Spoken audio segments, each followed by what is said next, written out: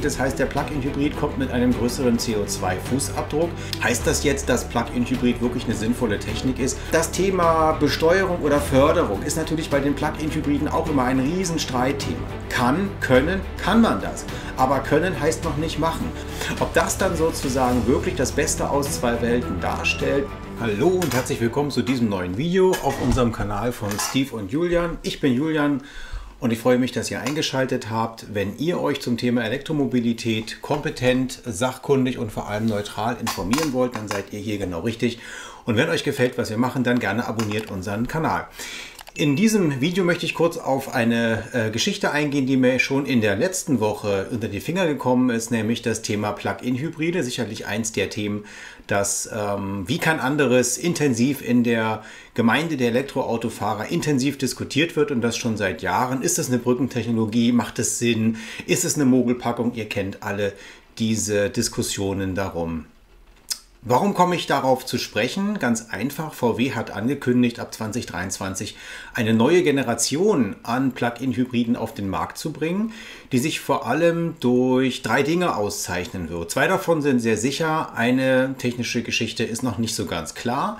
Wir haben einmal eine Verdopplung der Akkukapazität, damit eine Verdopplung der Reichweite.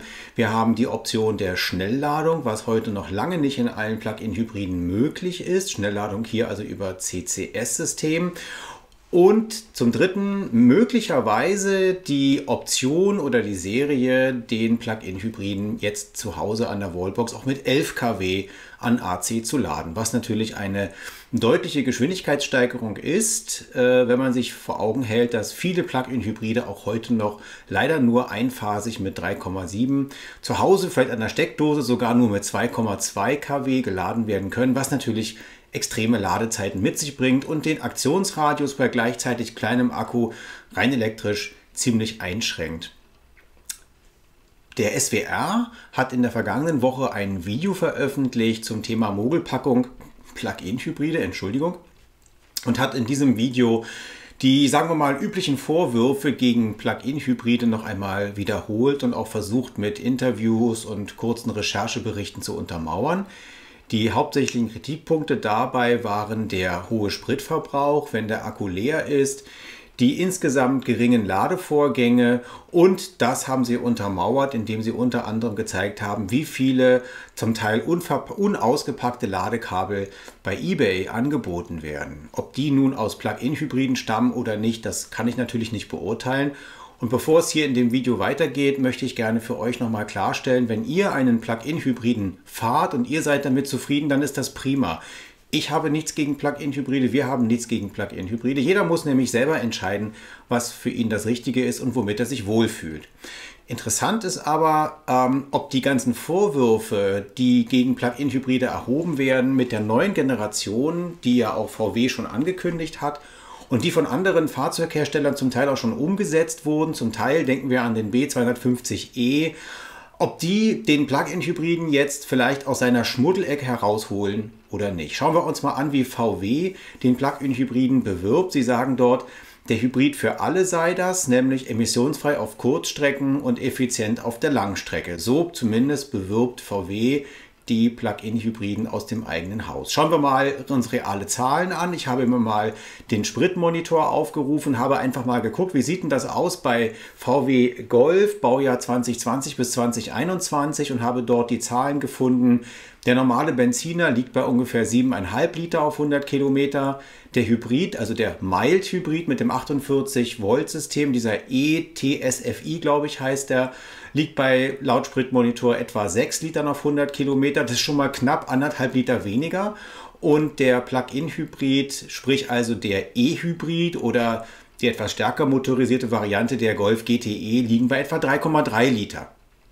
Heißt das jetzt, dass Plug-in-Hybrid wirklich eine sinnvolle Technik ist und die Vergrößerung des Akkus und die Verbesserung der Lademöglichkeiten den Durchbruch bringt? Naja, schauen wir mal ähm, uns die ganzen Sachen mal ein bisschen im Detail an. Was heißt denn das jetzt eigentlich, vergrößerte Akkukapazität? Das heißt im Prinzip auf der positiven Seite, ähm, ihr habt eine vergrößerte Alltagsreichweite. Das heißt, wer zum Beispiel bisher seine Strecke zur Arbeit und zurück mit dem Plug-in-Hybrid gerade so geschafft hat, der wird das in Zukunft natürlich wesentlich komfortabler schaffen. Wer im Alltag an die Grenze gekommen ist, wird also jetzt eine deutliche ähm, Erweiterung der elektrischen Reichweite erfahren. Vor allem aber auch im Winter.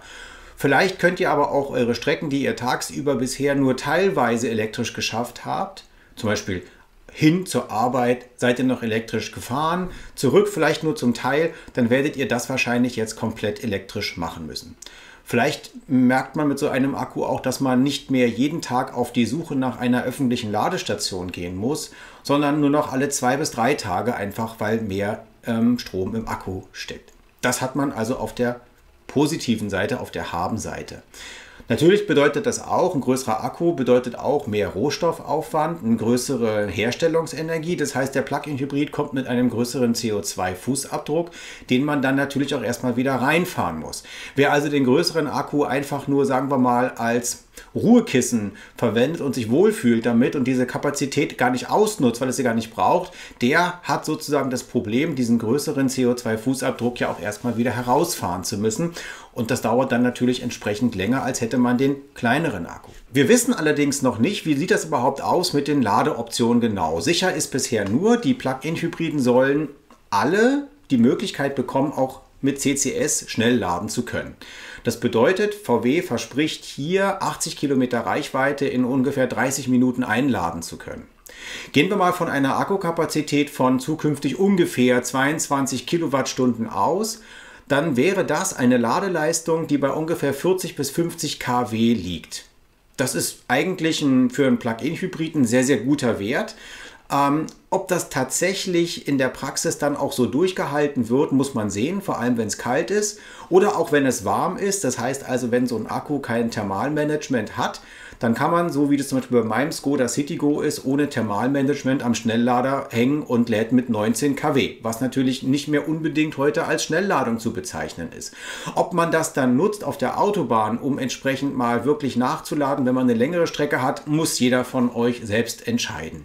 Klar ist auch, ähm, beziehungsweise fraglich, muss man eigentlich eher sagen, ist, ob mit einem größeren Akku und CCS so ein Plug-in-Hybrid dann reisefähig ist. Und ähm, ich gebe euch mal ein Beispiel. Zum Beispiel müssen wir im Moment ziemlich häufig zwischen Berlin und Rostock hin und her pendeln.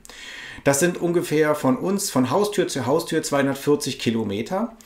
Und wenn ich jetzt mit so einem Plug-in-Hybrid mit verdoppelter Reichweite diese Strecke fahren will, dann bedeutet das, dass ich ungefähr, sagen wir mal 80, wenn es gut läuft, vielleicht tatsächlich die versprochenen 100 Kilometer rein elektrisch schaffe.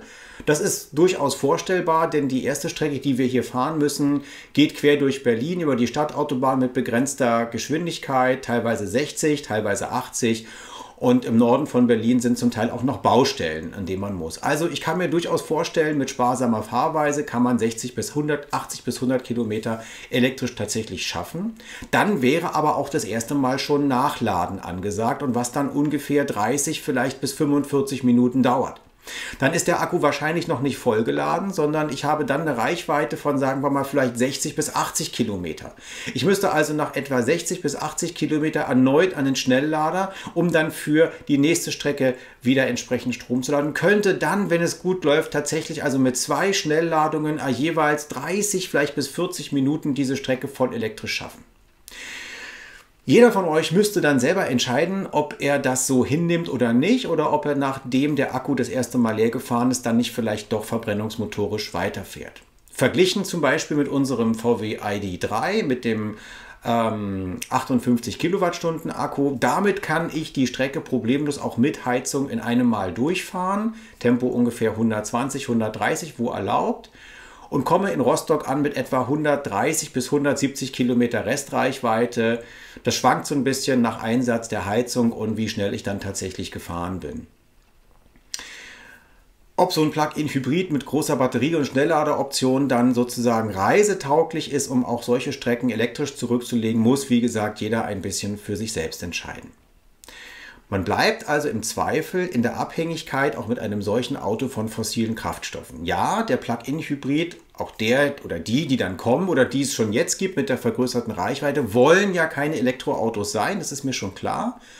Aber die Schnellladeoption CCS und der größere Akku machen vielleicht bei dem einen oder anderen den Eindruck, so ein Fahrzeug wäre dann reisetauglich, elektrisch reisetauglich. Und ja, muss man klar sagen, das wird wahrscheinlich nicht der Fall sein. Richtig ist, dass man seine elektrischen Reichweiten verlängert. Richtig ist, dass man tatsächlich vielleicht bei einer längeren Mittagspause sich mal an einen CCS-Schnelllader stellen kann. Aber der Komfort und die, die, Reise, die Reiseerfahrung, die elektrische Reiseerfahrung, die man mit einem echten Elektroauto, mit einem rein batterieelektrischen Elektroauto hat, das schnellladefähig ist, sagen wir mal mit 80 bis 120 kW und eine entsprechend große Batterie, kann man damit natürlich nicht erreichen. Das muss einem klar sein. Wir bleiben also bei diesen Fahrzeugen dann bei solchen Strecken abhängig von Kraftstoffen, abhängig von den Preissteigerungen, die diese Kraftstoffe erfahren werden in den nächsten Jahren. Und E-Fuels werden hier auch keinen Ausweg bilden. Denn E-Fuels werden sicherlich nicht unter dem Preis von normalem Benzin zu haben sein, wenn überhaupt. Und es besteht auch die Gefahr, dass ein Rebound-Effekt eintritt. Das heißt, habe ich vielleicht tatsächlich erstmal diese E-Fuels, vielleicht sogar zu vernünftigen Preisen an den Tankstellen, dann mag sich der ein oder andere denken, na, dann kann ich ja auch entsprechend wieder mehr verbrennungsmotorisch fahren. Ich bin ja dann CO2-neutral. Ob das dann sozusagen wirklich das Beste aus zwei Welten darstellt, wage ich persönlich zu bezweifeln. Das bleibt aber in eurer Entscheidung, ob ihr das für richtig haltet oder nicht. Kommentiert gerne mal hier unter dem Video, was ihr dazu denkt. Vielleicht habt ihr Lust, jetzt einfach mal das Video anzuhalten, euren Kommentar zu schreiben und dann gleich weiter zu gucken. Der nächste Punkt, den man natürlich bei Plug-in-Hybriden manchmal häufig, ja, ich würde mal sogar sagen, häufig kritisieren muss, ist, dass es sie nur in den höchsten Ausstattungen gibt. Und das ist natürlich ein Riesenproblem, weil damit die Fahrzeuge natürlich auch deutlich teurer geworden sind. Ähm, wenn ich also mal zum Beispiel so ein Golf E-Hybrid oder ein Golf GTE vom Preis her vergleiche mit einem VW ID3, stelle ich fest, der E-Hybrid ist sogar teurer und der GTE noch teurer als der i3. Und das hat nicht nur was mit den Fördermitteln zu tun, die ich bekomme, sondern die Fahrzeuge sind vom Grundpreis her schon mal deutlich teurer vom Grundpreis her deutlich teurer und dann von Kraftstoffen abhängig sein, bei denen der Preis auch nur eine Richtung kennt, Ihr müsst selbst entscheiden, ob ihr das für sinnvoll oder für nicht sinnvoll haltet. Besteht natürlich auch weiterhin die Gefahr, dass damit Fahrzeuge, die bisher vielleicht nicht im Fokus als Dienstfahrzeug waren, dann als Dienstfahrzeug genommen werden, vielleicht auch nur um die Steuerersparnis einzustecken. Ihr müsst entscheiden, ob ihr das für eine sinnvolle Geschichte oder nicht haltet. Klar ist natürlich, um einen Plug-in-Hybrid bestimmungsgemäß zu verwenden, was ja im Moment noch nicht so ganz immer der Fall ist oder sein soll, ist, dass das Laden attraktiver werden muss. Und das Laden attraktiver äh, werden muss natürlich auch durch das Fahrzeug möglich sein. Das heißt, ich persönlich, und jetzt komme ich so ein bisschen zum Fazit dieses Videos, ich persönlich würde mir von VW wünschen und von den anderen Herstellern natürlich auch, dass nichts anderes mehr Standard ist als ein 11 kW ähm, Onboard-Charger, damit ich tatsächlich, wenn ich mal auf dem Discounter-Parkplatz bin oder wenn ich mal irgendwo an einer öffentlichen AC-Ladestation stehe, tatsächlich auch mal, sagen wir mal, in einer halben Stunde wenigstens meine ja, spürbar, ein bisschen spürbar na, Reichweite nachladen kann. 40 bis 50 Kilometer sind dann möglich, damit ich wirklich was davon habe.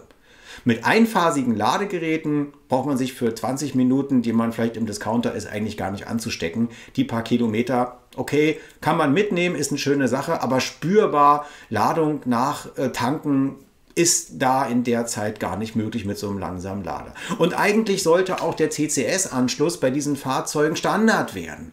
Denn nur dann habe ich ja die Attraktivität drin zu sagen, hey, jetzt, ich bin 15 Minuten im Discounter, 20 Minuten beim Einkaufen, da stöpsel ich mich mal ran, da kann ich tatsächlich in der Zeit jetzt mal ordentlich Kilometer nachladen. Aus meiner Sicht also sollte auf jeden Fall ein 11 kW Onboard Charger und eine CCS-Option serienmäßig sein und nicht eine teure Option, die dann vielleicht sogar abgewählt wird, weil man sagt, naja, ähm, lohnt sich nicht, ist mir zu teuer oder sonst irgendwas. Ihr wisst das alles, wer schon elektrisch fährt, der weiß, dass damit das Laden natürlich deutlich attraktiver ist, als wenn ich eben so einen Einphasenlader habe und keine Schnellladeoption. Natürlich gehört auch dazu, dass die Politik ihre Hausaufgaben macht, nämlich der Strompreis muss sinken. Der Ladestrompreis, der Autostrompreis, der muss deutlich sinken. Wir hoffen uns natürlich alle von der neuen Bundesregierung, dass möglichst schnell die EEG-Umlage abgeschafft wird und andere zum Teil völlig unsinnige Umlagen, die den Autostrom, aber auch den normalen Strompreis belasten, endlich rausgenommen werden und auf die fossilen Kraftstoffe umgelegt werden. Wer also heute unbedingt noch sich einen neuen Verbrenner kauft und von fossilen Kraftstoffen abhängig sein wird, der muss dafür bezahlen. Das ist meine, meine Ansicht, da stehe ich auch zu. Und wer die Entscheidung trifft, sich für einen Plug-in-Hybriden oder für ein reines Elektroauto zu entscheiden, der muss entlastet werden werden, denn der tut ja wirklich auch was fürs Klima. Ähm, das Thema Besteuerung oder Förderung ist natürlich bei den Plug-in-Hybriden auch immer ein Riesenstreitthema. Ich bin persönlich sehr dafür, auch Plug-in-Hybriden eine Förderung zuteilkommen zu lassen, aber ich nehme dort die Position des BUND ein, nachträglich. Wenn man also nachweisen kann, dass man einen gehörigen Anteil der, der Strecken, die man mit dem Fahrzeug gefahren ist, innerhalb der letzten zwölf Monate auch rein elektrisch zurückgelegt hat. Vielleicht fängt man an bei 30 Prozent rein elektrischer Strecke und findet irgendwo so einen Maximalpunkt bei 70 bis 80 Prozent. Mir ist bewusst, dass das mit dem Plug-in-Hybriden Teil schwierig ist. Mit der großen Reichweite sollte das aber schon möglich sein, 80 Prozent zu erreichen und dann erst bekommt man vielleicht die höchste Förderung. Vielleicht auch schon bei 70 Prozent. Irgendwo in dem Fenster sollte sich das bewegen. Wer aber weniger, zum Beispiel als 30 Prozent fährt, der sollte überhaupt keine Förderung bekommen, denn der kann sich auch gleich einen ganz normalen Hybrid kaufen kaufen. Äh, der muss nicht unbedingt mit einem Plug-in-Hybrid durch die Gegend fahren. Und am Schluss bleibt natürlich der Benutzende denn das ist der Hauptschlüssel äh, mit einem Plug-in-Hybrid sozusagen, das zu erreichen, was VW, was, Entschuldigung, was VW auch aussagt, nämlich dass man mit einem Plug-in-Hybriden den gleichen, die gleichen CO2-Potenzial erreichen kann wie mit einem Elektroauto. VW spricht von etwa 15.000 Kilometern pro Jahr, die man auch mit einem Plug-in-Hybrid elektrisch zurücklegen kann. Ja, klar, kann, können, kann man das. Aber können heißt noch nicht machen. Und das bedeutet also, die Punkte, die ich eben genannt habe, sollten erfüllt sein, damit damit man das auch tatsächlich macht, damit die Leute auch zu Hause die Lust haben, das Auto wirklich anzuschließen, sich zum Beispiel eine Wallbox anzuschaffen und das Auto ja jeden Tag an die Steckdose zu hängen, um eben immer diese Reichweite zu haben. Dann ist das mit Sicherheit möglich. Ob man dann aber noch einen Plug-in-Hybriden braucht und sich nicht eventuell doch gleich für ein elektrisch, rein elektrisches Batterie, elektrisches Fahrzeug entscheidet, das muss natürlich jeder selber entscheiden. Habt bitte, wenn ihr vor dieser Entscheidung steht, im Kopf, dass der Ausbau der Ladeinfrastruktur Infrastruktur in großen Schritten vorangeht und in, ich sag mal, vielleicht zwei bis drei Jahren vielleicht wahrscheinlich schon die ersten neuen Stationen des Deutschlandnetzes da sind und auch die anderen ähm, Ladestationsbetreiber ihre Angebote immer weiter ausbauen und damit man wahrscheinlich an der Autobahn zumindest an der Autobahn, wahrscheinlich sogar öfter an einer Ladestation vorbeikommt als an einer Tankstelle. Und dann mag vielleicht nach zwei, drei Jahren das böse Erwachen kommen und wo man sich fragt, wieso habe ich mir eigentlich damals so einen Plug-in-Hybrid gekauft und bin nicht gleich aufs Elektroauto gegangen. Und was macht ihr, wenn ihr jetzt vor der Entscheidung steht? Lasst es euch nochmal gut durch den Kopf gehen und überlegt doch mal, ob ihr nicht vielleicht dann doch jetzt euren jetzt vorhandenen Plug-in-Hybrid wirklich auch noch ein bisschen länger fahrt und ihn dann gegen ein rein elektrisches Fahrzeug austauscht. Oder wenn ihr noch keinen habt und ihr zieht einen Plug-in-Hybriden ins ähm, ja, in die Entscheidung mit ein. Dann überlegt euch genau, wie ist euer Fahrprofil und seid ihr nicht vielleicht mit einem gebrauchten Plug-in-Hybriden genauso gut aufgestellt, als jetzt noch zu warten und sich vielleicht später einzukaufen mit einer größeren Reichweite, die aber vielleicht nicht die Versprechungen dann einhalten kann, die ihr euch davon vielleicht macht. Stichwort Reisefähigkeit, Langstrecke, wie auch immer. Lasst es euch durch den Kopf gehen. Ich bin sehr gespannt auf eure Meinungen dazu. Schreibt es gerne, wie gesagt, in die Kommentare und vergesst nicht, wenn euch das gefallen hat, wenn es interessant für euch war, was wir euch hier, was ich heute euch hier präsentiert habe, meine Gedanken zum Thema, dann gerne abonniert den Kanal und hinterlasst doch einfach auch mal einen Daumen nach oben oder auch gerne einen Daumen nach unten, damit wir ein bisschen wissen, wie ihr dieses Video einschätzt. Vielen Dank, dass ihr euch jetzt die Zeit genommen habt, mir hier zuzuhören. Ich hoffe, es war ein bisschen interessant für euch. Ich freue mich aufs nächste Mal und sage einfach an der Stelle Tschüss, bis zum nächsten Mal. Ciao.